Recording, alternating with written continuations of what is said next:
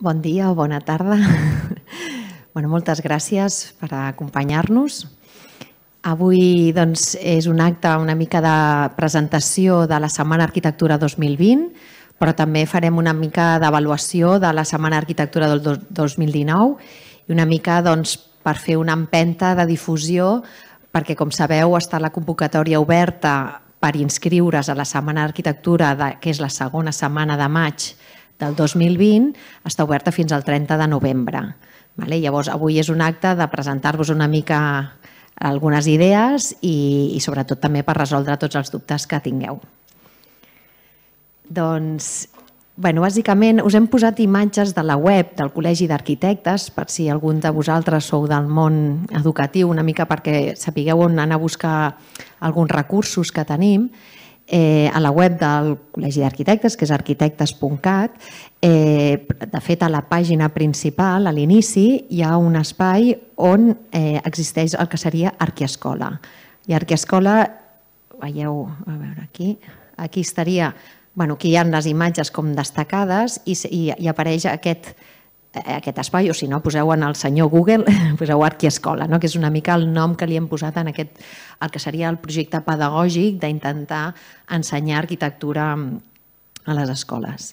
Llavors, eh, si entreu dins d'Arquiescola, us trobeu aquest material que és eh, fruit del concurs que va iniciar el Col·legi d'Arquitectes, el, com sabeu, el, des del juliol del 2017 la llei d'arquitectura doncs, contempla que serà obligatori ensenyar arquitectura a les escoles i d'alguna manera arrel d'aquí doncs, van fer un concurs que va guanyar el Globus Vermell i van redactar aquest projecte pedagògic que li diem Arquiescola i que està estructurat amb aquests quatre documents i aquest que seria una mica la presentació del programa i després hi ha una mica l'aproximació teòrica, que ara us faré una pinzellada molt breu, i després hi ha una part de material pensat per educació primària i una altra per eh, educació secundària. Hi ha com un exemple de possibles eh, tallers o, o, o temes a tractar que permeten una mica eh, posar en pràctica la, la, la, diguem, aquesta aproximació teòrica de l'arquiescola vale? però que evidentment es poden fer milions de tallers. No? Vull dir que els que hi ha aquí és només a moda d'idea per despertar la, la inspiració. Llavors, aquest, aquest document és una mica de síntesis per explicar-vos molt breument com s'intenta estructurar el contingut d'aquest eh, programa pedagògic, que bàsicament és una manera de d'estructurar el, el, el taller o la dinàmica que es vulgui treballar perquè siguem conscients les, a tots els àmbits no, a nivell pedagògic que podem treballar. No? Llavors hi ha diferents maneres, bueno, crec que m'aixecaré, que és més...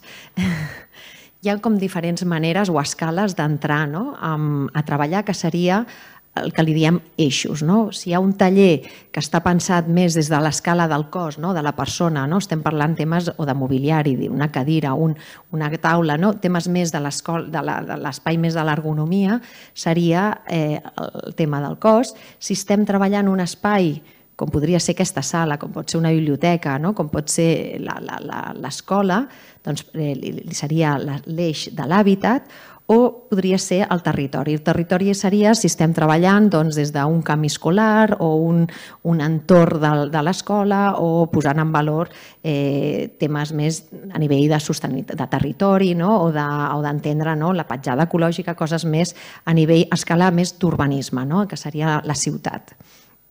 Llavors, aquests serien els eixos que ens permet fer una mica d'entrada. Després tindríem les fases que aquí ara estan posades una dalt de sota l'altra, però que ens les imaginem com circulars, que moltes vegades el que podem fer és observar, per exemple, no? Volem, doncs anem a observar una cadira, no? que seria l'eix, anem a observar una cadira, anem a pensar en les diferents formes que puc seure, materials que està fet o tot, que ara veurem, i després podem plantejar-nos per què no dissenyar i fer una cadira. No? Al final, el, el fer des de la part de vista de l'arquitectura és molt important, no? perquè quan fem també ens permet alimentar el observar o pensar, o a vegades fem i després ens inspira, observem que pot ser un altre ús, no? el que havíem pensat. No? De manera que aquesta seria una mica les fases que són importants perquè al final el, fer és treballar també amb les mans i ens permet estimular molt la creativitat.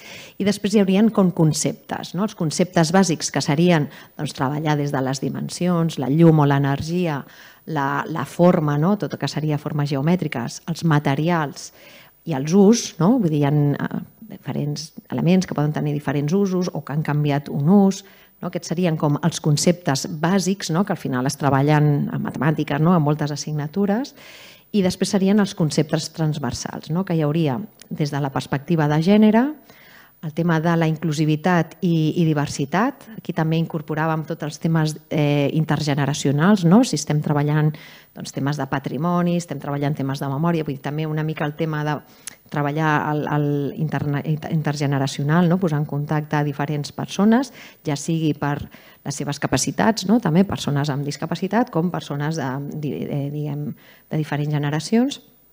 Seria la competència transversal a nivell de sostenibilitat, o petjada ecològica, no? que aquí permetria treballar bueno, tot aquest concepte tan ampli no? de la sostenibilitat. I l'altre concepte seria les identitats o el vincle social. Vale? Que aquí doncs, les identitats seria doncs, des de temes eh, de diferents cultures, com temes de memòria, no? com temes més culturals. De manera que la idea és que cadascun dels tallers que ara us explicarem després que es van fer a la Setmana d'Arquitectura hem estructurat una mica a quins aspectes estaven treballant. No? Vull dir, si era un, era un camí escolar, doncs estava treballant al territori, era, era pas fer una passejada, doncs potser era observar i després a l'aula es feia alguna més de pensar, que, quins temes havien treballat, si havien treballat les distàncies, no? doncs havien treballat dimensions, bueno, els diferents elements que havien pogut treballar, potser havien treballat molt el tema de, més dels vincles socials no? a nivell de memòria, o havien treballat si el camí també doncs, tenia vegetació, tenia, no? llavors en funció dels temes que havien treballat, cadascun dels tallers, ara veurem, han, havien anat identificant aquestes competències que ens permetien una mica endreçar no, de cada taller que, que es pugui també com a, els docents puguin veure que, que, que una mica què s'està aprofundint. Sí.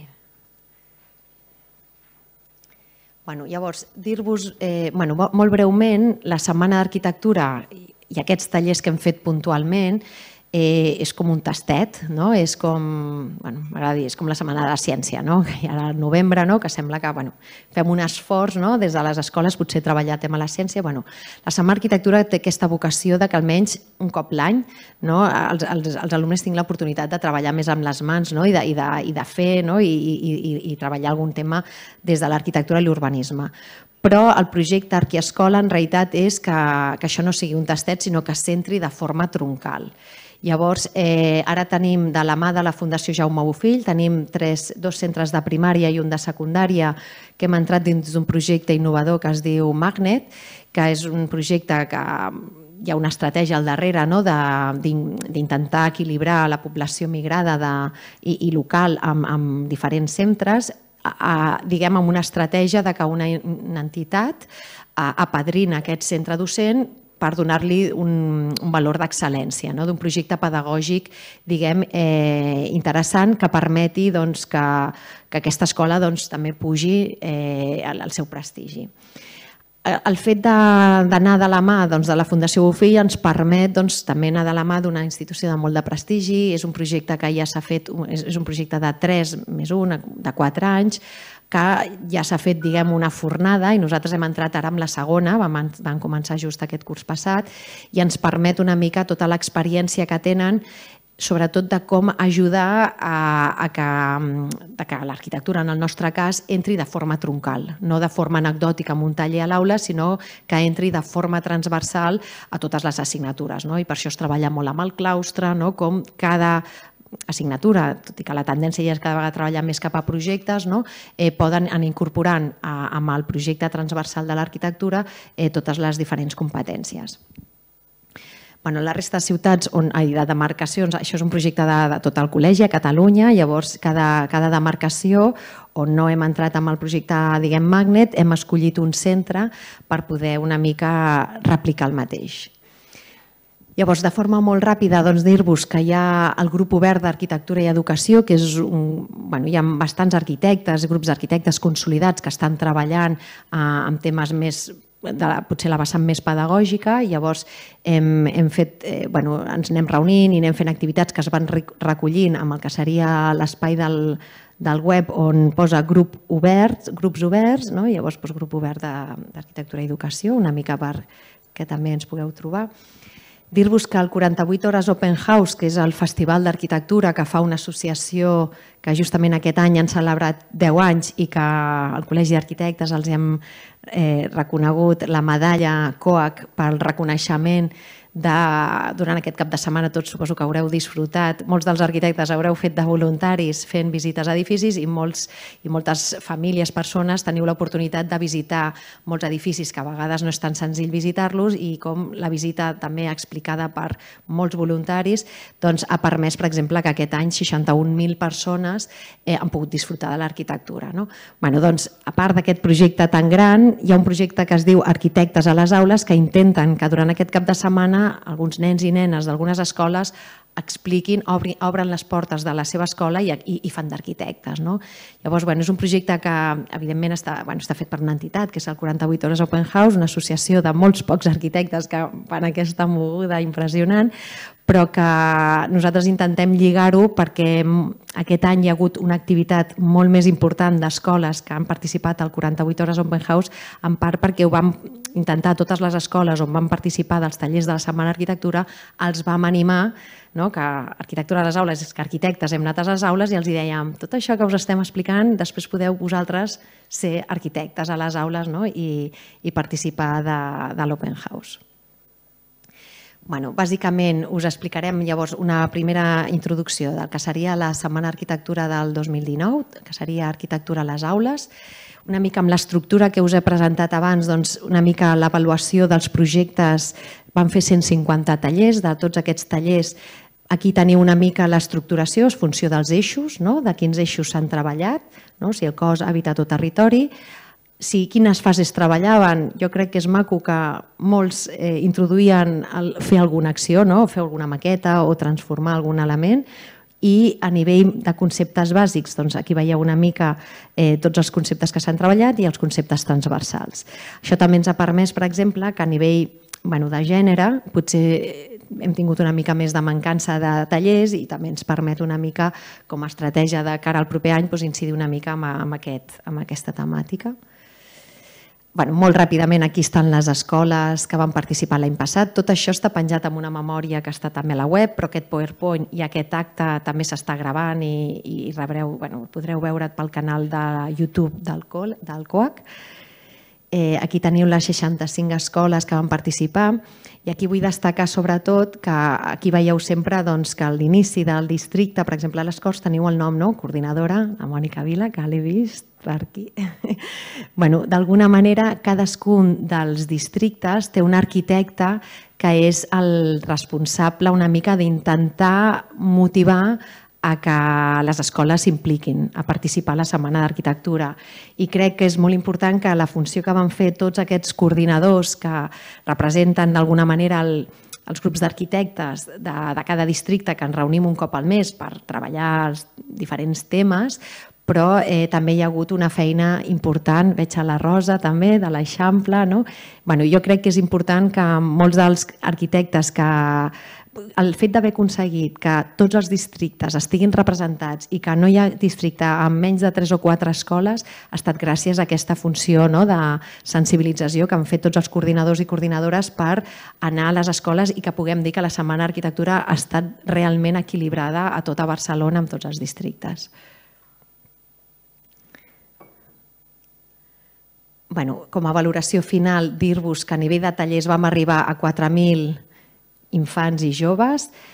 Després, entre les activitats i els tallers que es van fer aquí, que no m'extendré a explicar-los, però vam tenir 3.800 persones que van participar, de manera que jo crec que a mi m'agrada, no, no, no només m'agrada que és un número important, sinó que m'agrada que no ha sigut una aproximació, diguem, bueno, superficial a l'arquitectura, sinó que això significa que aquests 4.000 nens han estat dos matins amb un arquitecte treballant no? I, i, i, i disfrutant una mica de l'arquitectura. No? Vull dir que ha estat una, una, una oportunitat d'una aproximació doncs, intensa. També hem fet una avaluació, que és important no? per poder millorar. Vam, hem avaluat i hem fet enquestes tant als centres docents com en els arquitectes. Aquí veieu una mica la part dels centres docents. Els hem preguntat si la temàtica la consideraven adequada. Fixeu-vos doncs, que realment l'arquitectura doncs, agrada i, i, la, i es veu com eh, important i transformadora. La valoració de l'arquitecte també doncs, molt positiva i després també eh, l'adequació del taller a l'edat de l'alumnat. No? Bueno, també molt bé. No? Això, aquestes dades, quan el Consorci d'Educació va veure aquesta avaluació, bueno, va dir això realment és sorprenent, no? perquè són molt positives i no hi ha hagut cap queixa, no? Vull dir, cosa que d'alguna manera semblaria que, que, que, que s'ha valorat positivament aquesta, aquesta oportunitat de les valoracions també de les enquestes que van fer els arquitectes, bueno, només bueno, que ha estat un taller bastant equilibrat entre, entre homes i dones, entre arquitectes eh, diguem, col·legiats, però arquitectes que bueno, no estan col·legiats, però que s'han implicat en aquest taller, arquitectes jubilats, vull dir que jo crec que ha estat també un projecte molt maco. Tot el treball que hem anat fent de preparació fins a arribar a la Setmana d'Arquitectura, diguem, vam fer diferents trobades, també va ser una oportunitat per trobar-nos i, i, i coordinar-nos i, i, i poder-nos fer els tallers millor possible. La valoració de la comunicació amb el col·legi, bueno, eh, està prou bé, però també hem de millorar una mica. No? La, la valoració de la comunicació amb l'escola. Això també és important de que l'interlocutor amb l'escola ha estat sempre l'arquitecte, perquè una mica ens va semblar que era la forma endreçada que totes les demandes eren l'arquitecte i l'arquitecte és el que ens, traslladaven una mica, diguem, totes les necessitats puntuals a nosaltres. No? I, I creiem que això va bé i que seguirem millorant bueno, i bàsicament doncs, la valoració del taller impartit no? i el temps de durada dels tallers. Sí que es valora doncs, que, que els tallers millor de 3 hores, sobretot quan es treballa, quan es fa tema pràctic, doncs tothom diu que menys de 3 hores no es pot fer un, un treball que incorpori temes més de maquetes o de repensar i, i bueno, una mica també vam valorar la, el que és la remuneració simbòlica que es va fer i bueno, ara, molt ràpidament, eh, us passem al que seria Arquitectura a les aules 5.0. Bueno, 5.0, fem una breu introducció, que és el títol. 5.0, evidentment això que encara de venir, però a mi l'Ernest Redondo de l'escola m'ha convençut. El 5.0, no, al final sembla que la tecnologia ens està allunyant no? i tot es fa de forma online. Doncs el 5.0 el que ens ve a dir és que l'online ha de servir per tornar-nos a, a connectar de forma presencial no? i que al final el 5.0 al final el que ens està dient és que arquitectura a les aules és que ens permet posar en contacte no? arquitectes amb les aules i sobretot no? el contacte físic per poder experimentar l'arquitectura bueno, aquestes 65 escoles, que a més és interessant perquè va estar molt equilibrat entre 35 escoles de primària i 30 de secundària, 150 tallers, 102 arquitectes que han estat col·laborant i eh, bueno, la festa arquitectura que ara més, més endavant us explicarem que vam participar 1.000 persones, van plantar 65 arbres. No? Vull dir que cada escola va plantar el, el seu arbre a el que seria la festa arquitectura, que us explicaré més endavant, perquè ara li passo la paraula bueno, una mica ràpidament, no sé si podria, intentem fer un... Anem a fer un intent, si no ho tenim, si no ho tenim en PowerPoint, aquest és un, programa, és un programari que estarà penjat ara dins de l'Arquiescola, que és un cercador de tots aquests tallers. De manera que pots entrar o a través de l'escola anar a buscar el taller. Eh, no? doncs jo sé que aquella escola va fer un taller, vaig a veure quin taller va fer, hi ha un resum eh, escrit i dues imatges, és un resum molt breu, però pots entrar també per, per, pels conceptes. No? Tu pots dir doncs, per conceptes eh, transversals. Quins tallers han treballat temes de sostenibilitat? Llavors, tu poses aquesta paraula i se t'encenen totes aquestes fulles que heu vist. Cada fulla és una escola. Vale? I Vull dir, cadascuna d'aquestes fulletes que veieu és una escola que si cliques sobre la fulla et surt una mica el taller. Bueno, aprofito per presentar-vos. La Mar Santa Maria és arquitecta del grup de, de l'equip d'arquitectes de 300.000 quilòmetres que acaben de rebre el Premi d'Urbanisme del Consejo Superior d'Arquitectes de, no, d'un projecte de pla d'usos que han fet a Ciutat Vella. No? Vull dir que són un equip d'arquitectes que treballen molt el tema de bueno, a nivell, podríem dir, tecnològic, no? com, com, com fer que la tecnologia ens ajudi a veure o visualitzar eh, de diferents maneres no? la ciutat. En aquest cas, els vam demanar que ens ajudessin a donar visibilitat a tots els tallers que havíeu fet. Sí, de fet, jo no vull aquí robar protagonisme, que jo crec que la Sandra té moltes coses a explicar. Simplement bueno, vam estar molt contents quan eh, elles ens van trucar per fer visible tot aquell treball no? que, que heu fet el, els arquitectes durant la Setmana de l'Arquitectura. Aleshores, això, com diu la Sandra, eh, és un cercador que ens permet eh, fer visibles eh, els tallers, les escoles, recopilant una mica tota la informació eh, que es va generar. Aleshores, veureu que és una eina eh, molt senzillet a nivell eh, de funcionament, però aquí sí que li volia agrair al Miquel, a la Júlia i a totes les persones que ens van ajudar.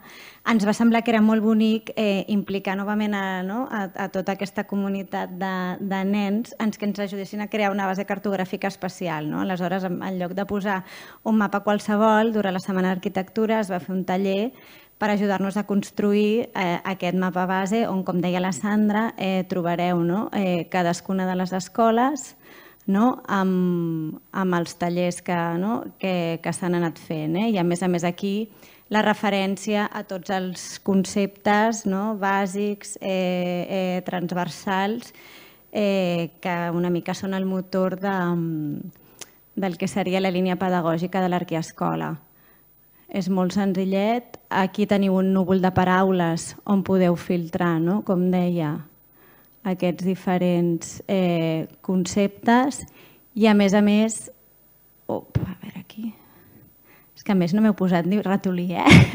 m'ho posat difícil. Tenim el llistat d'escoles on també no, eh, anem fent referència al mapa. Per tant, bueno, eh, creiem que és una eina no? on sobretot els nens tenen el protagonisme i tenen protagonisme els, els tallers. Que es vegi potser la festa d'arquitectura. Bueno, aquest és la primera versió. vale? D'aquí dos mesos la tornarem a actualitzar. Si algun dels arquitectes que esteu aquí vau fer un taller i no està bé, ens ho feu arribar i ho millorarem, vale? perquè ens ha costat una mica. Eh, dir-vos que bueno, aquesta fulleta que veieu d'un color especial és la festa d'arquitectura on a partir d'aquí es, podrà, es pot veure el vídeo que veurem més endavant, però una mica la idea és que aquí també volem donar visibilitat no només als tallers que es van fer a Setmana d'Arquitectura i, i la festa, sinó també molts equips d'arquitectes que estan treballant de forma doncs, molt consolidada, no? com és el Globus Vermell, a la Fundació Jaume Ofill, ai, ai, a la Fundació Miró, el, el grup d'arquitectes construint la sala, que d'aquí poc fan el taller a, a, a la sala oval no? del MENAC i d'alguna manera eh, són un, un grup d'arquitectes també molt consolidat, doncs tots ells seran, no sé si un arbre o una flor, però tots tindran visibilitat, de manera que l'arquitectura a les aules 5.0 permeti ser un espai de donar visibilitat a, a tots els arquitectes que estan una mica fent aquesta feina més eh, de sensibilització a nivell pedagògic de l'arquitectura. Si cas tornem ràpid, llavors el... Bueno, la idea és que això és, bueno, és un joc per jugar, el plano de fons, la veritat és que és molt maco, el van fer els nens, no hem censurat res, vull dir, aquí està tot. I crec que li dona aquest punt també una mica... Llavors, bueno, aquí hi ha... No, però deixa'm un segon només els, algun d'aquests tallers. Espera't. Bueno, aquí hi ha, bueno, des del taller que es van, hi ha tallers que van acabar doncs, des de construint estructures relativament bueno, complexes, Aquí es va fer, per exemple, un taller d'accessibilitat, va haver alguns tallers que eren també de sensibilització, es van portar a través de l'Institut Municipal de Persones amb Discapacitat, vam coordinar i al Banc del Temps ens van deixar cadires de rodes, de manera que van fer com gincames per l'escola i ens, i ens permetien introduir tot aquest concepte més de, de l'accessibilitat no? I, i com la ciutat accessible o, la, o els edificis permeten que siguin més inclusius. Eh, aquí el Ferran Sagarra, que està aquí amb nosaltres, doncs el Moisès Brogi es va treballar molt, jo crec que va fer que es transformessin en arquitectes, no? es va repensar molt un espai, com podia millorar, com millorar fins i tot la il·luminació. No? Jo crec que eh, els tallers van ser... Les escoles normalment s'inscriuen i en la majoria de casos no ens proposaven un taller concret. O algun, el que sí que a vegades deien era si volien fer el taller dins l'aula o estaven oberts a que es fes un taller fora de l'aula.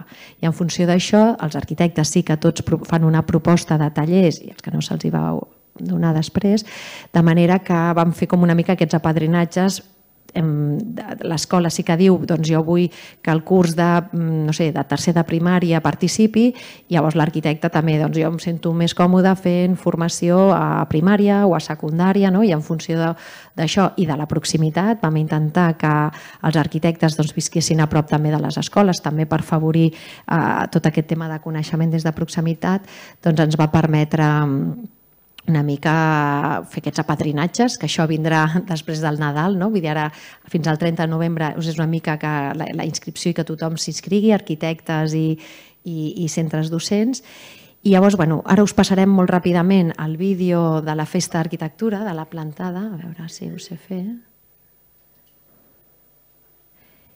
Eh, és un vídeo que va fer Contorn Urbano i he vist la Ninoska per aquí. ells, ells van fer aquest vídeo, que va ser molt maco, de resum, on el disseny de la planta d'arbres la van fer estudiants d'arquitectura, que es veien abans. Això és un projecte d'art urbà que ara veureu després, que van fer un camí i van participar a la Fundació Finestrelles. Van fer la planta d'arbres darrere de l'Hospital Sant Joan de Déu, és un espai que s'ha cremat molts cops i que està... Llavors aquesta, aquest taller de pintar pedres era la manera de que els nens de l'hospital també participessin del taller. Aquí el Jaume amb la bicicletada. Una...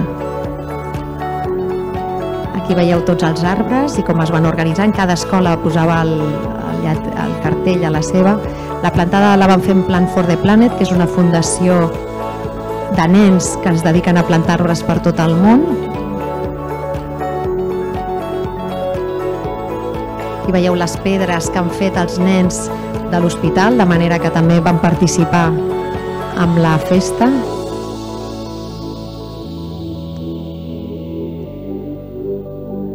Bueno, tocar terra al final, la cosa més normal de, comença a ser excepcional pels, bueno, pels que som urbanites, no? Bueno, la Veritas ens va donar fruita.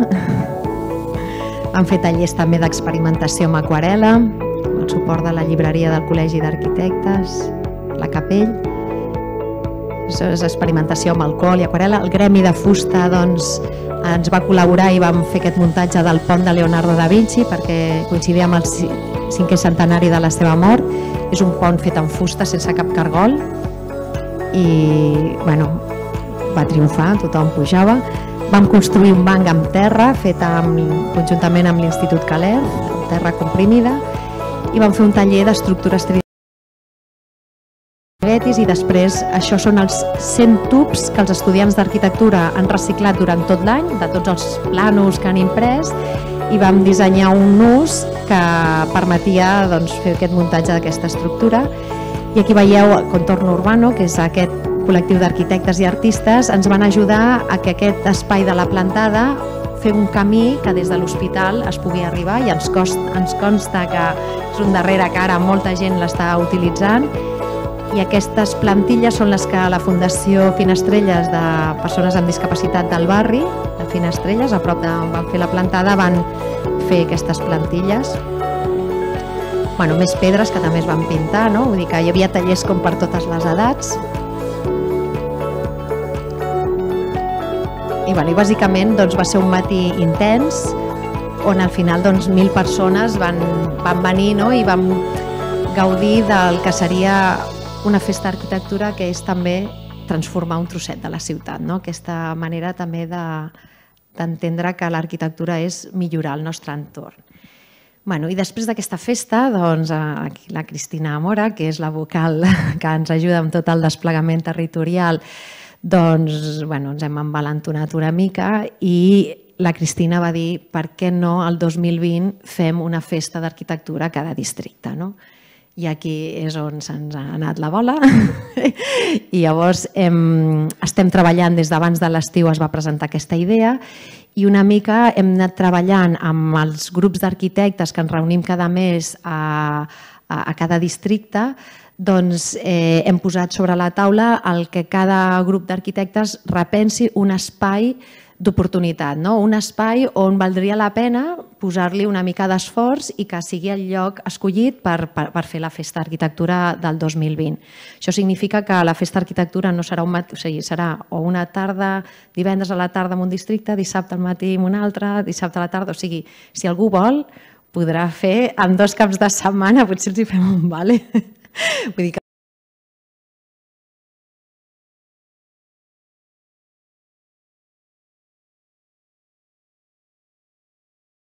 bueno, molt ràpidament hem escollit doncs, eh, aquests espais, us passarem una bueno, pinzellada, encara s'està cuinant, però, per exemple, a Nou Barris eh, s'ha decidit que treballar el patrimoni, diguem, rural, que hem decidit treballar a Can, Can Valent, que és una masia abandonada que està enmig de la ciutat, podríem dir, consolidada, no? al costat de Can Verdaguer, que de fet és el centre cívic on ens reunim, davant té l'Heroi, el Cort Inglés i el cementiri darrere, no? i és una masia que, bueno, que realment té l'arbre mig, té uns horts al voltant autogestionats molt interessants no? i treballarem una mica de com posar-la en valor, treballar també amb les associacions de veïns. Després, a nivell de patrimoni industrial, al districte Sant Martí s'ha considerat treballar amb amb l'escocesa, també de cada, de cada festa d'arquitectura estem intentant generar un vincle amb una escola d'arquitectura i una assignatura. No? La de patrimoni estem valorant treballar amb la UIC, aquí es treballaria amb arquitectes de capçalera que estan treballant com a treball de curs tot aquest entorn, de manera que és, eh, sigui una manera de vincular estudiants d'arquitectura, arquitectes del districtes i també les, les escoles que s'hagin inscrit a la Setmana d'Arquitectura, com que ho estem treballant amb, amb bastant temps, diguem, de, per davant, ens permetrà que les escoles també puguin participar una mica del disseny de què es farà amb, amb aquesta festa.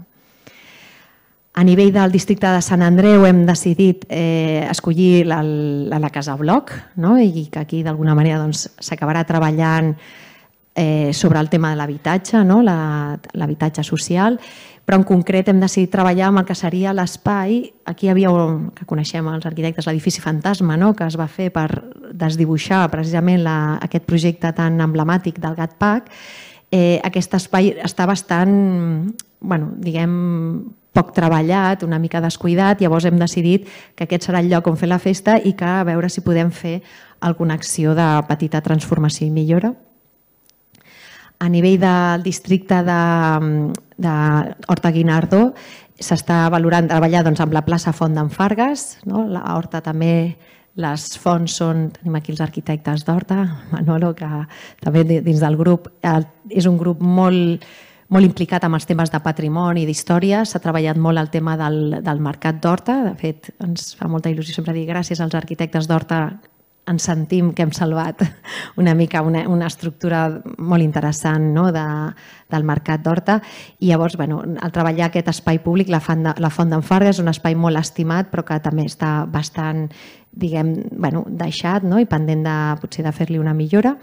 Al districte de Ciutat Vella eh, la idea és treballar amb el centre antituberculós que com sabeu ara és on hi ha el CAP, no? el centre diguem, de salut primària, i que hi ha la previsió potser de si es canvia o no es canvia, doncs bueno, que volem és treballar, posar en valor la història i valorar doncs, que és un edifici de molt valor arquitectònic, tot i que és modern, i que el que volem és que el que es decideixi fer amb ell després doncs, sigui coherent amb la seva arquitectura, no? que al final a vegades hi ha usos que potser poden posar eh, en tensió no? un, un patrimoni important de, de, de la nostra arquitectura.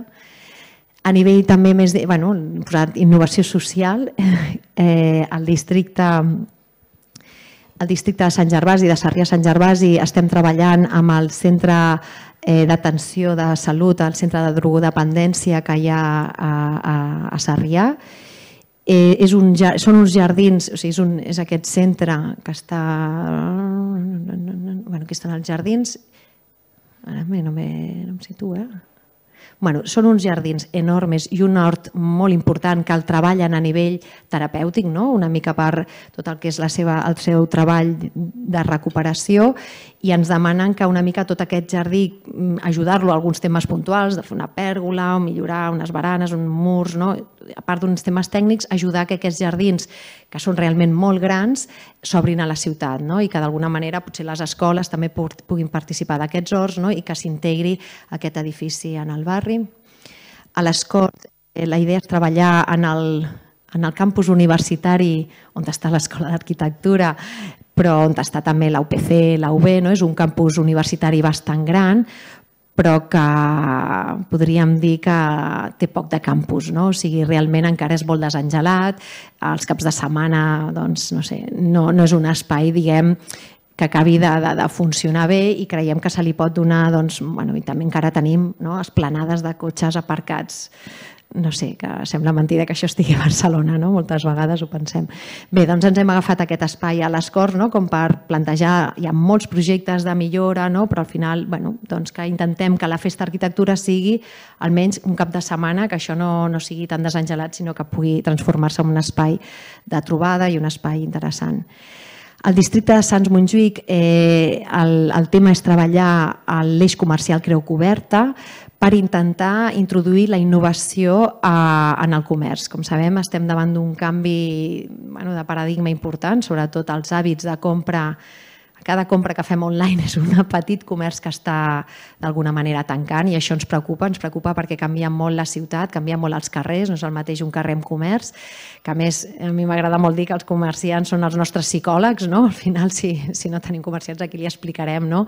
el nostre dia a dia. No? I llavors, eh, donat que coincideix que durant la Setmana d'Arquitectura és la fira, a Plaça Espanya es fa la fira del retail, que seria com la part més d'innovació a nivell diguem, no sé, d'aparadors i, de, i comercial, doncs l'objectiu és que aquesta fira surti. No? L'Eix Creu Coberta està just davant no? i transformar aqu aquesta festa en un espai on visibilitzar temes innovadors que ens permeten doncs, que bueno, durant, el grup està treballant durant tot l'any eh, estratègies que podríem una mica introduir aquí, des de temes, per exemple, amb les escoles s'està treballant l'opció de que inclús per què no treballar la memòria de quins comerços hi havia hagut en aquest carrer, vull dir que no només és parlar de futur, sinó també volem treballar la història no? I, i veure una mica com aquestes plantes baixes, no? com, com les podem treballar. Eh, al districte de Gràcia, el tema que d'alguna manera més preocupa és la convivència entre l'oci i els veïns i veïnes, no? diguem que el Juan Carlos crec que l'he vist. Ai, sí, Juan Carlos. Hem estat coordinador de Gràcia. Eh, bueno, tots estem enamorats de Gràcia, però realment de, la convivència és delicada, és complicada, hi ha molta tensió, no? el soroll, tots els problemes que impliquen no? eh, bueno, la, la, la festa i tots els temes d'higiene també que, que van lligats doncs ens hem posat com a objectiu fer un concurs d'idees o un procés participatiu on recollir accions que permetin fer compatible eh, una tarda de, o una tarda vespre una fe festa, però que permeti conviure als veïns. No? Sense... Llavors, bueno, hi ha idees molt interessants, no us les diem per així no treure l'emoció.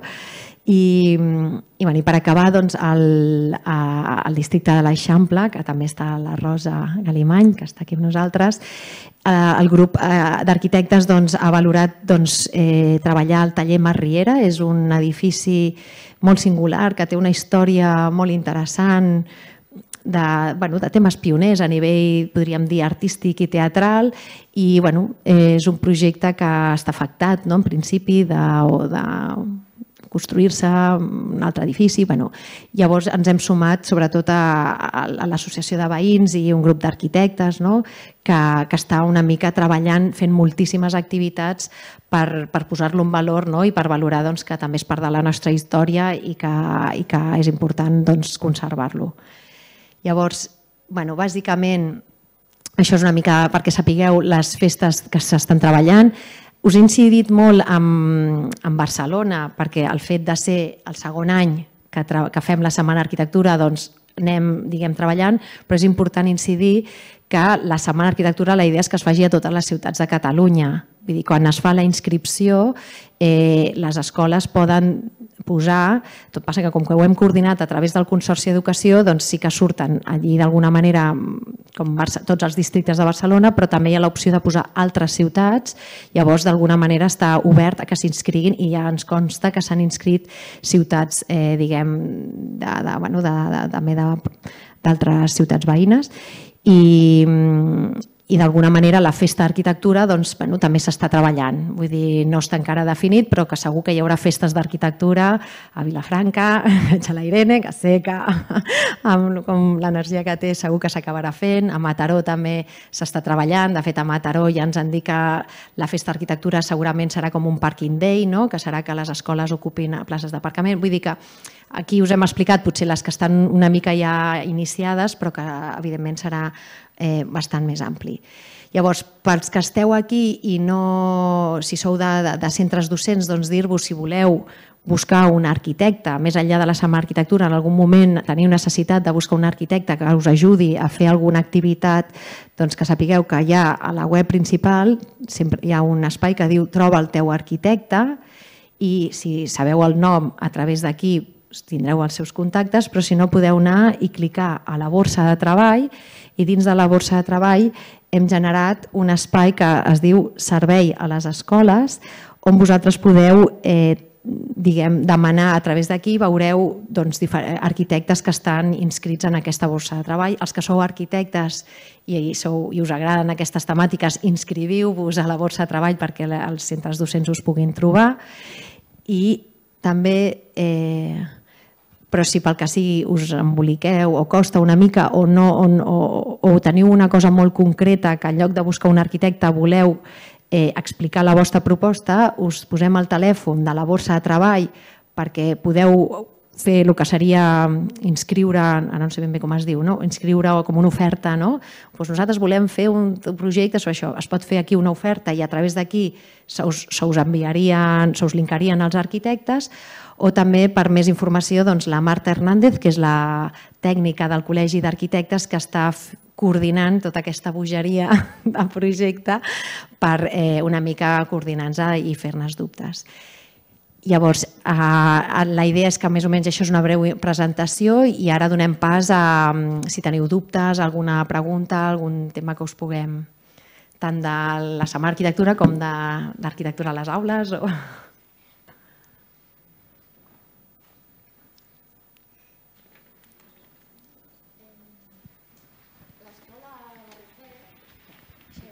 així queda gravat.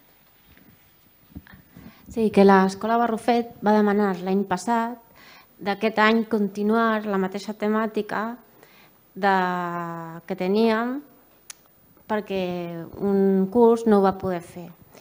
Uh, no sé si podem repetir... Sí, sí. sí? Pot repetir l'arquitecte, pot repetir l'escola, que posi el curs, vull dir que I... ho faig, que torni a fer el que va fer l'any passat. O sigui, el tema també i sí, sí. igual. No, això vol dir que ho vas fer molt bé.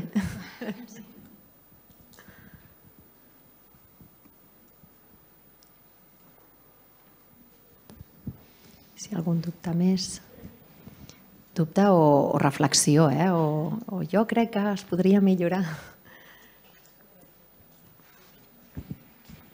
Eh, referent als centres docents, podem demanar algun arquitecte en concret, de dir, sí. m'interessaria vingués aquella persona sí. que sé que fa aquest taller. Sí, i, i nosaltres ho intentem. Vale. Depèn de lo sol·licitat que estigui aquest arquitecte, però sí, sí. Sí, tu, tu, hi ha observacions, sempre hi ha la part d'inscripció i un moment que pots posar observacions. M'agradaria que fes el taller aquest arquitecte. Vale, gràcies.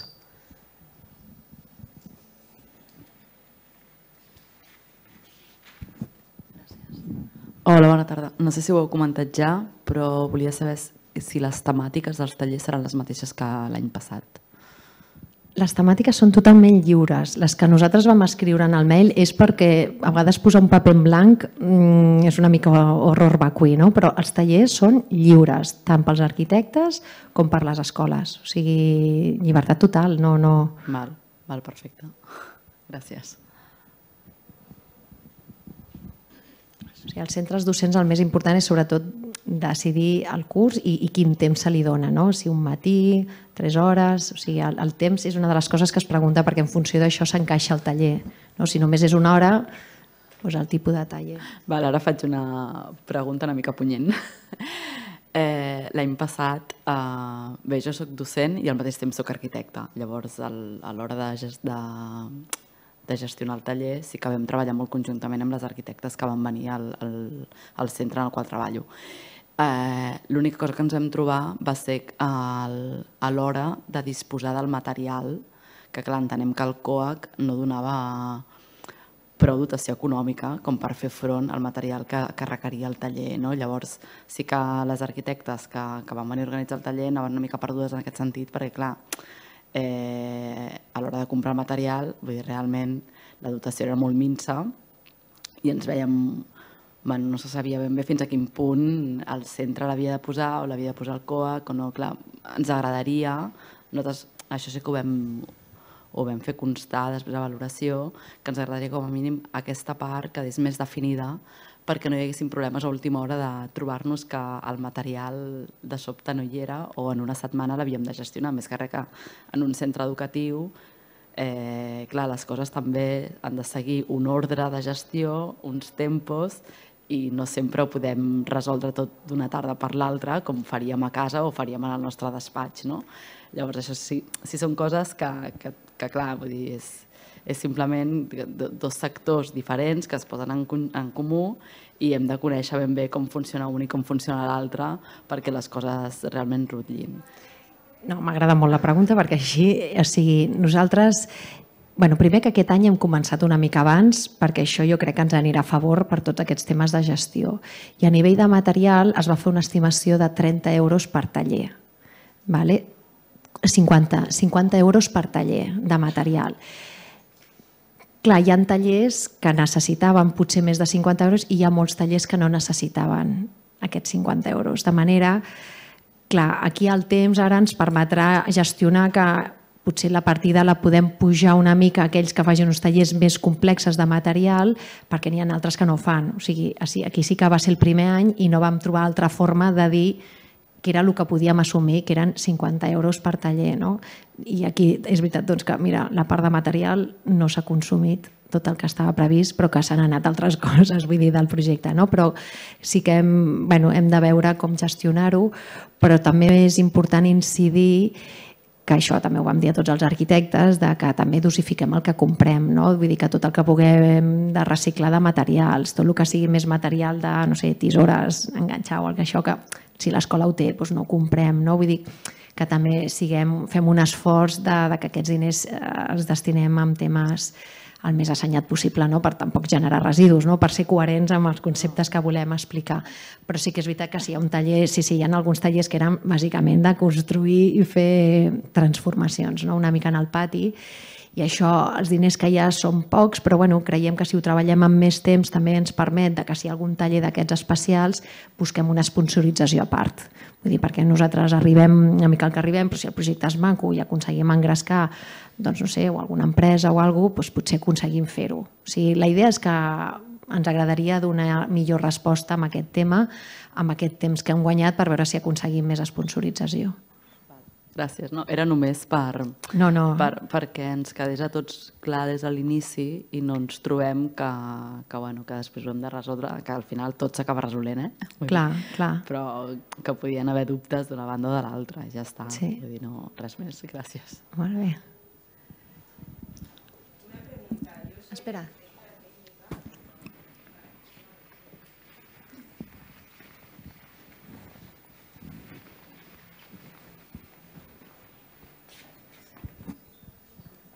Buenas tardes. Eh, yo soy arquitecta técnica y estoy bastante interesada en participar en todo, pero no tengo ni idea de cómo hacerlo. No sé si me podéis asesorar, orientar, porque claro, aquí solo hablamos de arquitectos, que sois los que promovéis todo toda esta formación y demás, pero a mí profesionalmente me interesaría mucho y, no sé cómo entrar en ello. Bueno, está abierto a, todo el mundo. Lo que pasa, uh -huh. digamos que el mail está colgado en la web. En la web del Col·legi d'Arquitectes tu pots entrar i ho trobaràs tot. Eh, clar, nosaltres ens comuniquem amb els arquitectes que són els nostres col·legiats, però, però et pots implicar, et pots inscriure igualment, com a, o sigui, amb la notícia tu et pots inscriure com a arquitecta tècnica i després gestionarem. O sigui, el que passa que bueno, sí que és veritat que està pensat més per arquitectes perquè claro. és el col·legi d'arquitectes, però bueno, no ens tanquem les portes. Vull dir que... Vale, vale, era simplemente eso, porque es, sí que fui el, en hace meses, creo que era mayo o así, estuve en una, en una información, en una conferencia muy importante que se hizo en la UB, y sí, nuevos espacios, nuevos aprendizajes. Sí. Entonces, a partir de ahí, pues bueno, a través de otros contactos y de encontrarme otros arquitectos y tal, eh, pensamos que podríamos proponer algo o ayudar a nivel de construcción para ejecutar todas las ideas de los arquitectos y tal. Y me encuentro un poco limitada en ese sentido. ¿Limitada en la Semana de Arquitectura? No, no, limitada a la hora de poder eh, dar una respuesta profesional. Por eso le he preguntado directamente. Porque como ¿Una respuesta profesional a quién? ¿A darle una respuesta a quién? A poder participar en este ah. proyecto. Vale, bueno, por eso hacemos un poco la presentación de hoy, que és para darla a conocer i que s'inscriva tot el món.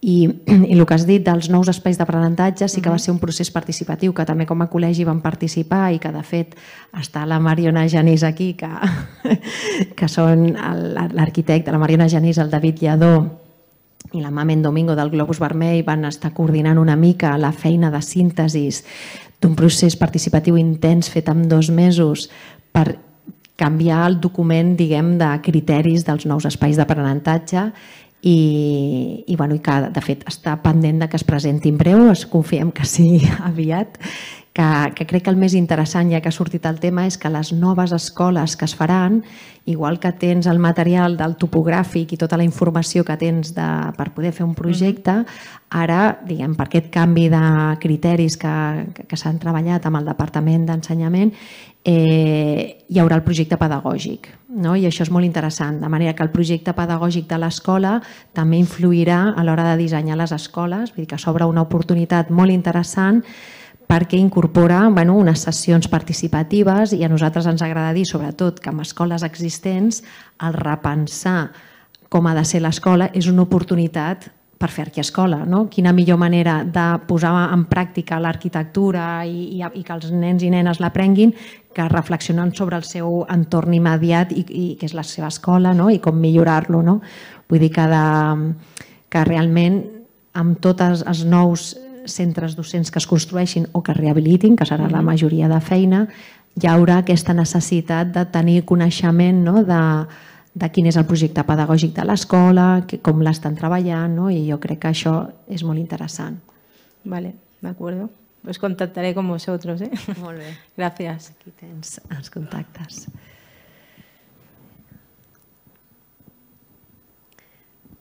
Bueno, doncs, res, animar-vos a que us apunteu i sobretot que, que feu difusió amb companys perquè també s'apuntin i, i puguem fer que aquest any vagi creixent aquesta setmana d'arquitectura. Moltes gràcies a tots.